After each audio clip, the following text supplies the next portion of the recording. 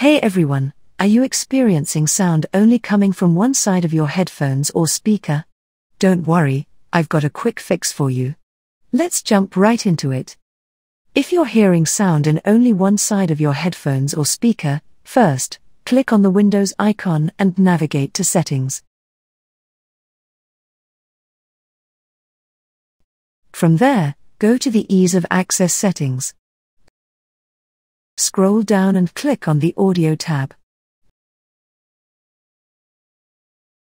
Make sure to turn off the mono audio option. Mono audio combines left and right channels into one. Turning this off ensures you get stereo sound. If the issue persists, you can adjust the speaker balance.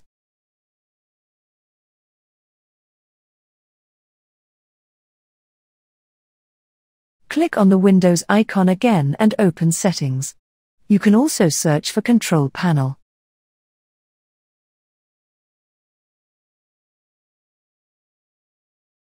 Then the other way.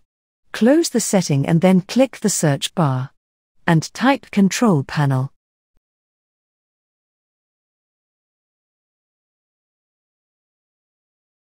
Then open the Control Panel.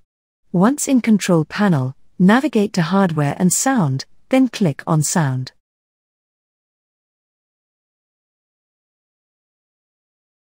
Double tap on your speaker. Go to Levels. And adjust the balance. Ensure both left and right channels are set to 100.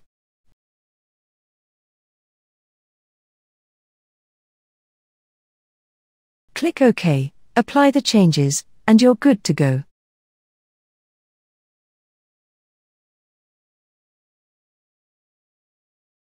And there you have it.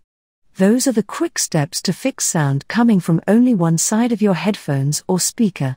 By adjusting mono audio settings and speaker balance, you can ensure stereo sound quality. If you have any questions, feel free to drop them in the comments below. I'll be happy to help.